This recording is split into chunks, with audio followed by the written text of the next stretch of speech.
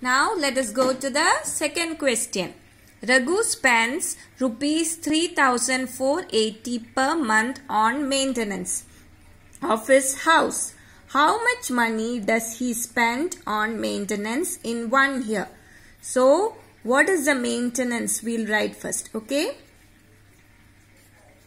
Maintenance is equal to how much?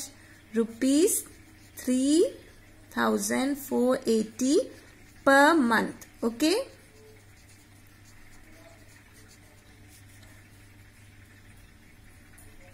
So what will be the money spent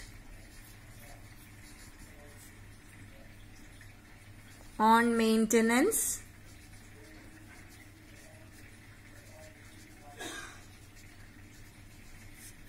in one year which will be equal to what will be the answer?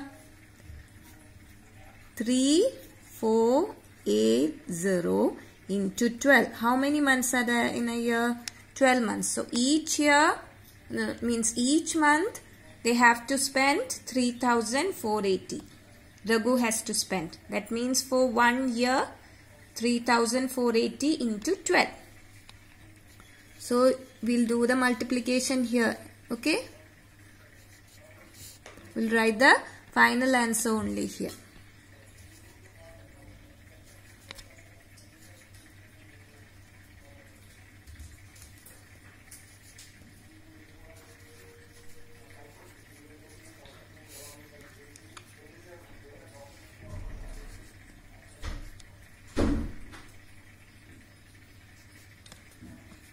the answer is you have to write in rupees okay? Rupees this is the uh, money right? The money spent. So you will write rupees 41760 okay? Clear? So what did you what did we do?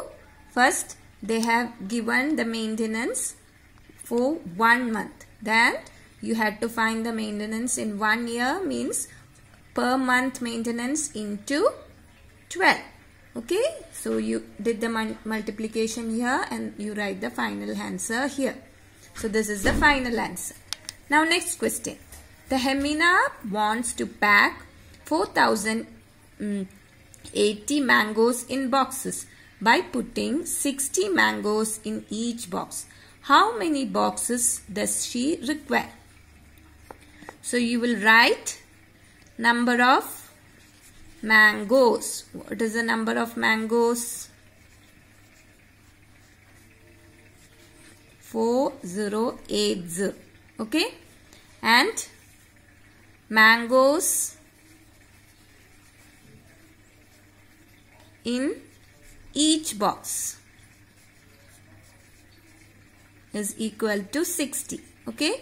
This much mangoes are there and mangoes in each box is 60. So, so what will be the what will be the number of boxes that we have to find out. So how will you find out?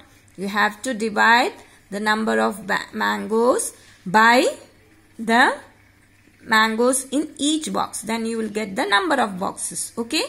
So we'll do the division here. Okay. 4080 by 60 okay? Now 6 into 6 you can do. 60 into 6 3 minus you will get 8 4 uh, 480 6 into 6 6 6 7 6 8 6 8s are 48 right? So 60 into 8 will be 480 so here you will get remainder 0 and the quotient is 68 that means what will be the answer here? 68. What are what is 68? Boxes. Okay. Here the con uh, thing is boxes. Here it is money. So this is the way you will do word solve word problems. Okay. Is it clear? Now I have done 1, 2 and 3 of the word problems. Right. Now 4, 5 and 6 you will do as homework. Okay. So, today we learned word problems, how to solve word problems. Assignment 13. The first one which in which you have to solve them in the textbook itself. We did the first three. I showed you how to do the first three. Watch the videos and do the first three. Then it will be clear for, it will be more easy for you to, to do the next three also. Do as homework. Okay. And whatever multiplication, division or subtraction or addition you have to do extra, you will do on this side. That is why they have given a partition over here. Okay. And here you will only, here don't do the multiply, don't multiply and write here. You will do all those in this side. Here, over here. Here you, you can do that. Okay. So here, this side you will write only the proper statements here and equal to equal to all the answer and last you will get the final answer. Okay? So write proper statements and do this these three.